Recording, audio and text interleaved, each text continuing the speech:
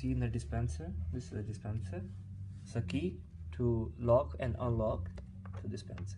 This is the side lock. This is unlock. Move turn out. And uh, push this button. Is automatically out.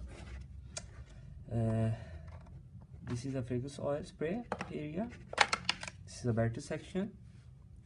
See double a battery on this side.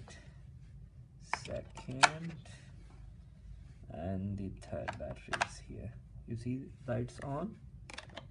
Close this. Okay. Uh, this is a holder. And this is a refill section. Tight the area refill bottle. Right side round not the that much. Just a bit tight. Yes. You see this hole? And this hole. The green ring round you can apply this just push right? Close the box right? And uh, same lock the area. Now its dispenser is locked. Start. this is a dispenser here and this is an app as you can see here. Click. Uh, must you turn on the Bluetooth when he connected like this?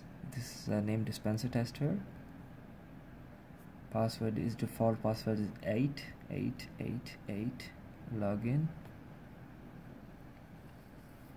And you can see here uh, blue light is connected to this device. And I'm already setting two setting here. As you can see here you can one day you can set five settings. Click on this. And I am set here as you can see here dates is uh, Sunday to Thursday and uh, start timing is 9 to uh, end timing is 5 and grade is see 1 to 10 you can set is up to you.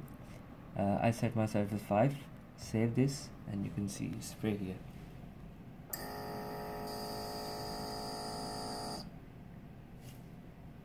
thank you. And uh, the concentration rate and the battery life details you will get from the website